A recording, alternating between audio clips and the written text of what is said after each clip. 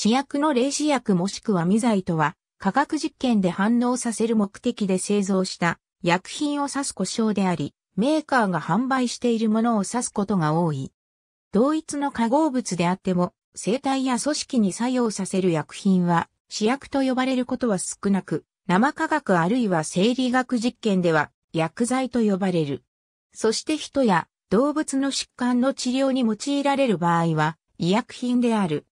一方、人工的な条件下で行う生物学実験などにおいては、酵素や受容体そのものを生体より取り出して作用させる場合に、これらを主薬と呼ぶこともある。通常、薬剤や医薬品の場合は不純物が含まれていると副作用が発生し目的にそぐわないことが懸念されるため、より高純度の製品であったり、場合によっては副作用を示さない保証のために種樹の確認試験が製品に施される。化学用途の試薬の中でも汎用されるものには、日本工業規格に試薬特級、試薬一級という規格が設けられており、これを満たしているものだけがその規格名を冠して故障される。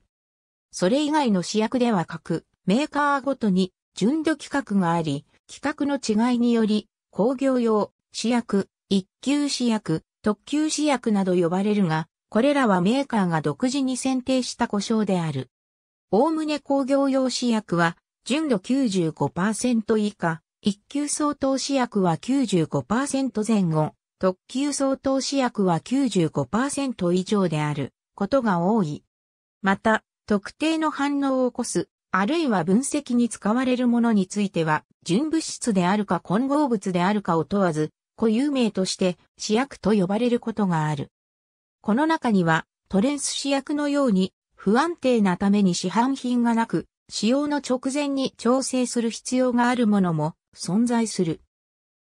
法第三条第一項第三号に科学的方法による物質の検出もしくは定量、物質の合成の実験または物質の物理的特性の測定のために使用される化学物質と規定されている通り、化学分析、実験、試験研究、検査等に用いられるものを意味しており、本法でいう主役かどうかの判断は、原則として製造形態、似姿等によって行うものとする。この場合、試薬の表示が付されていても、工業薬品、工業用原材料のように供するためのようなものは、本法でいう試薬には該当しない。世界企業名及び日本支社名。ありがとうございます。